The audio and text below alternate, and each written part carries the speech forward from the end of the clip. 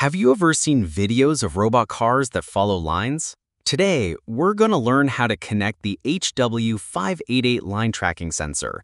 This module works using a light emitter and a receiver. It also has a potentiometer that you can use to calibrate the sensor sensitivity. It has three pins, GND for ground, VCC for power, 5 volt, and a signal pin. First, let's place the module on the breadboard.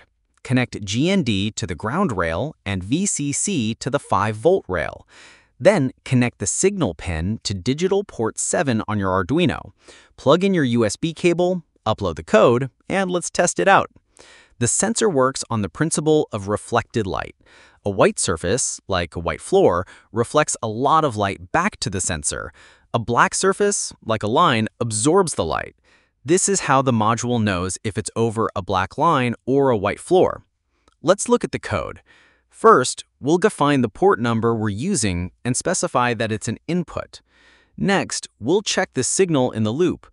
The code will read low if there is no line in front of the sensor. If the signal goes high, it means the sensor is seeing a black line. Be sure to hit that like button and subscribe for more projects. What would you build with this sensor?